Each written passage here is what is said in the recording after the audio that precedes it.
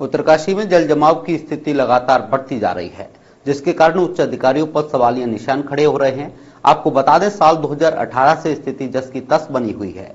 स्थानीय लोगों का कहना है कि कोई भी हमारी समस्या सुनने को तैयार नहीं है, जिससे आए दिन लोगों को परेशानियों का सामना करना पड़ता है, और प्रशासन मामले में कोई भी ठोस कदम नहीं उठा रहा है। उत्तरकाशी से संवाददाता विनीत कंसवाल की रिपोर्ट।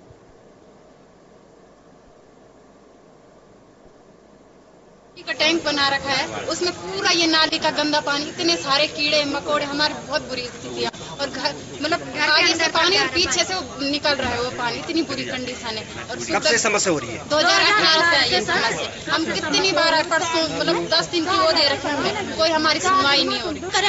हमारे बच्चे भी हम भी खुद परेशान है। इतने परिवार इतने है कि कॉलोनी फौजी के है वहाँ आर्मी के है वहाँ कॉलोनी। न आने का रास्ता न जाने का रास्ता इतनी प्रशासन शासन प्रशासन न कुछ ठोस कदम उनको उठा रही चाहिए बस।